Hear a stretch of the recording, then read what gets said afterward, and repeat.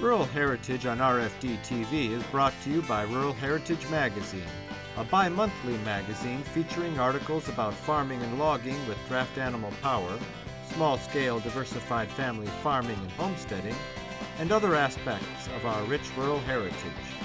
Rural Heritage Magazine, borrowing from yesterday to do the work of today. For subscription information, please call 319 362 3027 or order online at www.ruralheritage.com. A few weeks ago, we visited the Illinois Rural Heritage Museum in Pinckneyville, Illinois, and showed you a few of the exhibits there. Today, we're going to continue that tour with our hosts, Charlie and Mary Greer of Pinckneyville. I've lived within Pinckneyville, 10 miles of Pinckneyville all my life. Uh, my wife, Mary, she was born in Denmark, which is a little settlement outside of Pinckneyville here, which is about 11 miles from town. You both grew up on, a, on farms? We grew up on a farm. Uh, I had I have four brothers and sisters. My mother raised us by herself, and we had a dairy farm. And then I switched uh, when I got we got married. We switched to hog farm, and now we're retired from farming. We was up to 30, 30 cows. Uh, we just got milking machines to start milking. I become the right age that Uncle Sam wanted me. And my other brothers and sisters was married, so that's when my mother sold out the dairy farm. So there were stan- you, you would take the milking machines to the cows in stanchions. You didn't have a parlor. did No, it was, it was in the stanchions, the same stanchions we used when we hand milked. Yeah. We started out just with raising weaning pigs, and then we went to farrow finish. I'm not sure how many years we had that. It was over 30 years. We had confinement, open confinement barns. wasn't like the ones now. We had pens with just two or three litters in each pen, and raised sold pigs every month. That's the way we farrowed ourselves. We, we, we farmed, we raised corn, we rented. We didn't own enough ground to raise enough corn. We rented ground to raise corn, rotation with corn and beans for the hogs. We uh, had a very large family. I come from a family of 11. We milked cows by hand. Um, I didn't always have to milk because I was kind of a little sickly person that got out of a lot of the chores. We had, uh, our family was very active in 4 H, so I was raised around 4 H projects a lot of the older equipment, like we have a Husker threader, shredder, Husker shredder, and those people had to be intelligent back then to figure out how to do and build some of these equi- this equipment.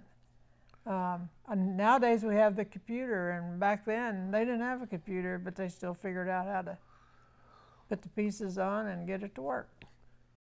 We've got a 1906 corn binder back here, and the knotter on it that knots and ties the string is very little different than on a hay baler that was built in 1980. And we've got a big Keck and Gonnerman thrash machine back here made out of wood between 1895 and 1905. And if you look in the back of the end of it, it looks almost identical to a combine until they come out with a rotor combine. I worked 27 years in the coal mines and farmed every day of it. No kidding. Yeah, Wow. I farmed before and I farmed after. But If you enjoy seeing how our ancestors lived during America's rule yesterday, you're going to love looking at these books. Volume 1 is Fieldwork, showing horses and vintage tractors preparing seedbeds, planting, cultivating, and harvesting the crop. Volume 2 shows the work being done in the barn and farmyard. Feeding and watering the livestock, getting the crop into the barn, milking the cows, shearing the sheep, and collecting the eggs. In Volume 3, we go inside the home to see the family in the kitchen canning vegetables, in the parlor listening to the radio, and in the dining room for family supper. We also head into town to shop at the general store or visit on the town square on Saturday night. Each book has over 140 large format pages. They sell for $24.95 each, or you can buy two for $44.95, or all three for $54.95 plus shipping. Call 1 877 647 2452 to order. That's 1 877 647 2452. Yeah, Kent Jensen from Sigel, Illinois owns that. It's double sided, it's got barbed wire on the other side too. Actually, these right here are not barbed wire. Earlier I talked about check planting. Yeah, yeah. These here is what you went in your corn planter to trip it every 42 inches for your check planting. Yeah. I've never seen them that big. I've seen these, Yeah. but I've never seen that. I've got two rolls of check wire back here. in the- There's a lot of checked wire rolls up in the uh, barn logs. barns, yeah. Now there's how they used the planter that I showed you over there earlier. Yep. Now the other two are corn planters too, but the one leaning against the wall is a cotton planter. Okay. It's got a different type of seed uh, extractor inside of it that pushes the cotton seed out because it's fuzzier. But when you put it down like that, it puts the seed down, and when you push it, it drops it down in the ground. Okay. So it actually pushes Then, it then you step on that, you go 42 inches, do that again. Now, they would drag a board or something across the field that had spikes in it that would make these marks. Then, then you followed the row to get your 42 inch widths. We was talking about P and O a while ago.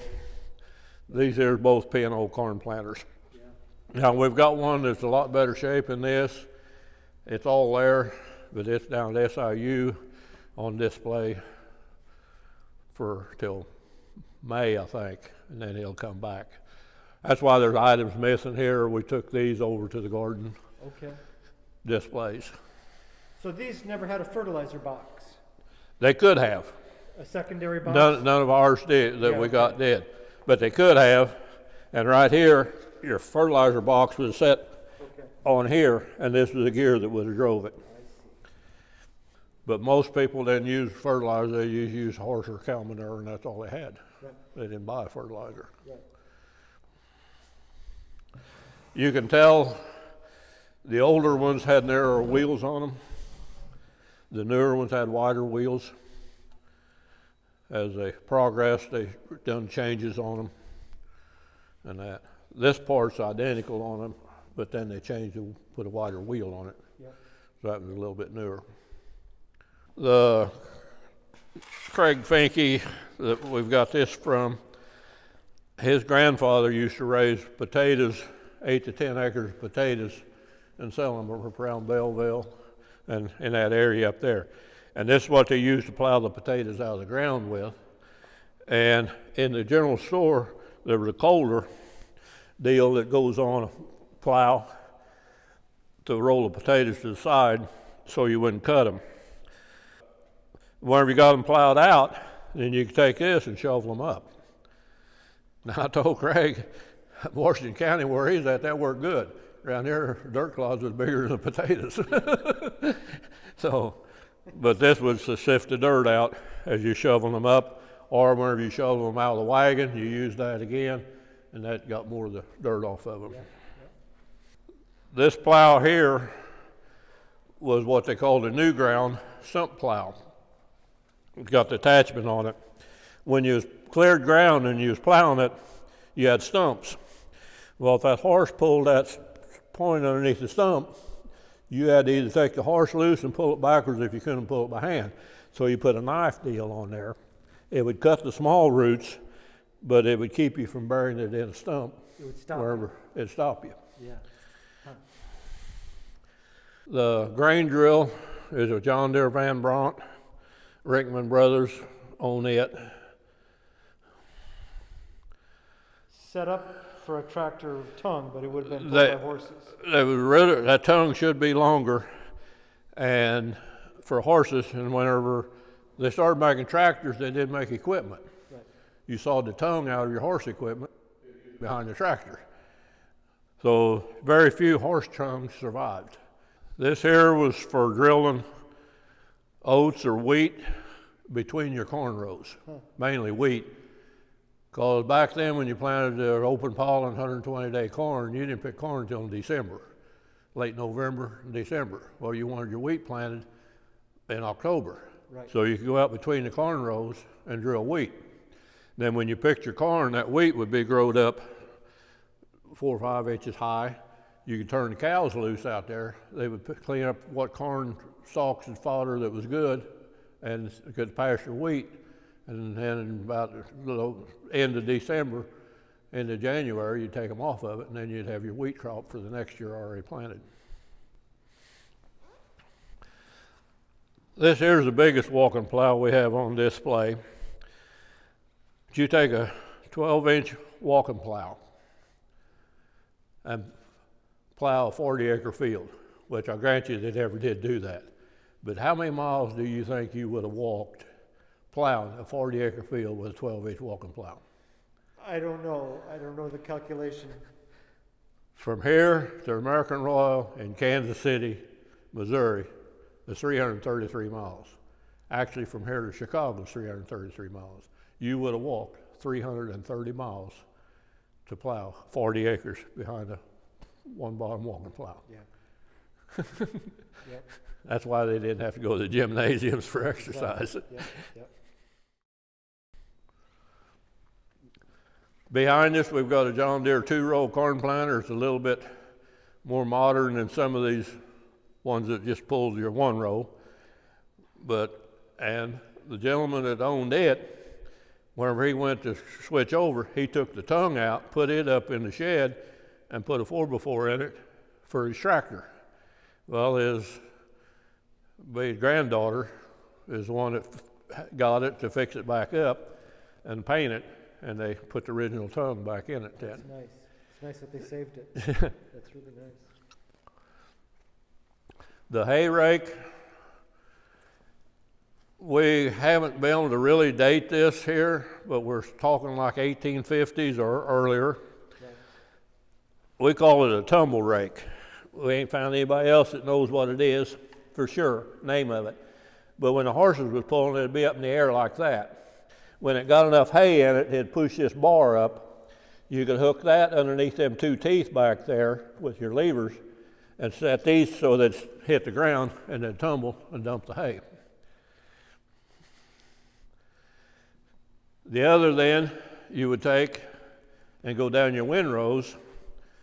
It had two horses on it, one on each side. It's hooked on their collar back there, what they pulled off of. You take this down your windrow and load it with hay, and then you'd either take it where you're going to build your haystack or take it to the barn. If you slide that seat all the way to the back of that two before and set on it, even loaded with hay, it'd raise this up off the ground about that high. And that's how you transport it. That was your lift on it. This here is a what we've got of a dairy barn. Mostly everything in there does with dairy. You had your cream separators there. Most people knows the upright cream separators. Well, these here was actually cream separators too. You put your cream in there, your milk in, and you wanted the cream, but you really didn't care that much about the milk because you had more milk than you need and you couldn't sell the milk. You sold the cream. So you'd mix well water with that.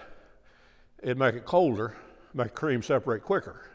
And then you could bleed the milk off the bottom of it and you'd have your cream left in there. The other Midwest dairy cream separators over there worked on the same order. This milk can is not actually a milk can. It was a cream separator too. You put your milk in it, and it had a hose down here that you could drain your milk off the bottom and the cream stayed in the can. How That- would you know when to stop it from flowing? How would you know when, when it's getting to the cream? Uh, it'd just slow down a lot. You'd see the cream come out Okay. because You'd be paying attention. well, milk would be pouring out and the cream would start dripping Okay, because it'd be a lot thicker. yeah, yeah. And then they come out thinking you had to have your milk pasteurized. Yeah, So this is electric pasteurizer milk for pasteurized milk. And this here tells you what temperatures you bring your milk to for the different disease, diseases that you thought would be in it. Like there's for scarlet fever, diphtheria, typhoid, yeah, tuberculosis, tuberculosis. yeah. Huh. And this come out of Waterloo, Illinois. If you enjoy seeing how our ancestors lived during America's rule yesterday, you're going to love looking at these books. Volume 1 is Fieldwork, showing horses and vintage tractors preparing seedbeds, planting, cultivating, and harvesting the crop. Volume 2 shows the work being done in the barn and farmyard, feeding and watering the livestock, getting the crop into the barn, milking the cows, shearing the sheep, and collecting the eggs. In Volume 3, we go inside the home to see the family in the kitchen canning vegetables, in the parlor listening to the radio, and in the dining room for family supper. We also head into town to shop at the general store or visit on the town square on Saturday night. Each book has over 140 large format pages. They sell for $24.95 each, or you can buy two for $44.95, or all three for $54.95 plus shipping. Call 1 877 647 2452 to order. That's 1 877 647 2452. What I remember of starting milking cows, I'd have been seven, I guess. My sister had been eight. We couldn't reach across to milk a cow. She'd sat on one side, I sat on the other side. We both milked a cow at the same time hmm. because I had a older sister that was 12 and brother that was 14 that milked cows by themselves. Me and her milked cow. We'd each one milk. We'd milk one cow. Those chains for kicking cows? Yeah, them's kickers. These here locked on the hawk. You put that on the hawk and then you could adjust it tight so they couldn't kick. Now this other set, I'd never seen a set like them until I got them, and somebody else had to really tell me what they was for. Those are cow kickers too. You'd put them on the leg and hook the chain, and then they couldn't bend their leg to kick. When we first moved to Swanwick to start our milk herd up there, you take these chains like this, you had your manger, you had a hole drilled in it that you put this through the board so it couldn't pull out, and you put this around the cow's neck. And that's how you would hold the cow in the manger Okay. to milk them. And in wintertime, they stayed in there all night. You left them, you had the chain hooked down low so they could lay down, and you kept them in there all night. That was before the stanchion. Then you took them stanchions like that. I can't get to it to open it up, but you'd open up the top. The cows would walk in between these bars into it, and then you'd sit back here to milk. And it's made so the cow could lay down in it for whenever she kept in the barn overnight in the wintertime. She could get up and down. A lot of stuff run off of coal oil back in the late 18, early 1900s. You could get your a coal oil bucket. Well, some people had a coal oil can. You take this to town and have it filled with coal oil and then it'd lock up. You take this down and pour it out into your lamps or into your heaters and that. I can remember trying to fill burners for hogs with a funnel about a half hour before I'm supposed to catch a school bus, pouring it and have coal all over your shoes.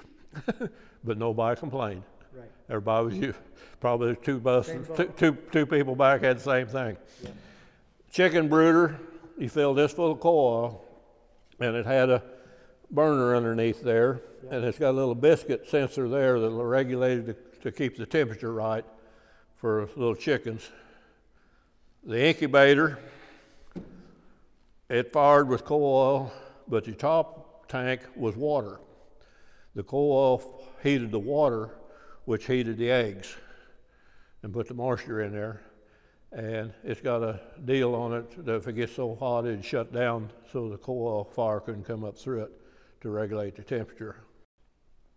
This here was for shredding grapes or crushing apples, that before you would squeeze the juice out for apple cider. And that, that's what this here was for. Some of your cider presses, little ones like the one we have back there, don't have a grinder with it. So you had to grind it here to, so you could squeeze the juice out of it better. This here's an ash sifter. And what I understand now, if you want to make homemade soap, you need to know how to use this. We use a screen wire, but you put your wood ashes in here and turn that, and it uh, sifted the charcoal chunks and that out of your wood ashes. Okay, you had a barrel, wooden barrel. I don't know, grandma's was about that big around, about that tall. There was a sleeve. You had crossbars in the bottom of it, and you'd put leaves on top of that. Then you put your wood ashes in on that, and you let water drip through that. When that water come out the bottom, it was lye, and that's how they made lye water. If you got it down far enough, you can make lye soap out of it. Use it to mix with your lard to make lye soap. Otherwise, they used a lot of that lye water for washing clothes in. That's why Grandpa's blue jeans was always white instead of blue because of lye water. But uh, this tells a step on how to make lye soap. Well, I understand you can't buy lye now because it's a hazardous material, chemical and you can't buy it no more Okay.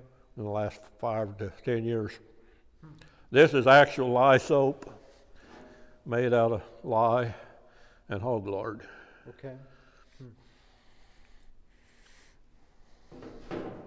This is actual lye soap made out of lye and hog lard.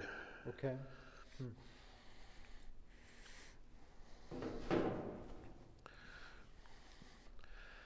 This buggy here is a Velie buggy. John Deere, that started the John Deere Tractor Company, his granddaughter, or his daughter, his youngest daughter married a Velie. Their youngest son started a Velie Buggy Company. They built Velie buggies, Velie tractors, and Velie cars. There's one Velie car known to exist yet up northern Wisconsin, somewhere up in there. But nobody knows of a Velie tractor, and there's very few Velie buggies because he, it was just a more of a hobby business that he, great granddaughter, great grandson of uh, John Deere didn't need the money. He just needed something to do. But if you had your buggy or even a wagon, if you wanted to work on a wheel, like greased them or something, you take your jack and put it underneath there. You could raise it up. You could take your wheel off and grease it, or whatever you wanted to on it. And this is original jack. It's not a remake. It's original.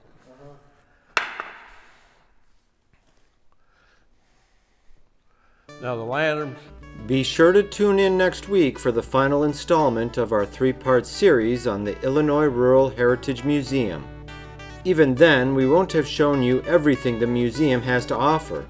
It's truly a complete portrayal of life years ago in rural America.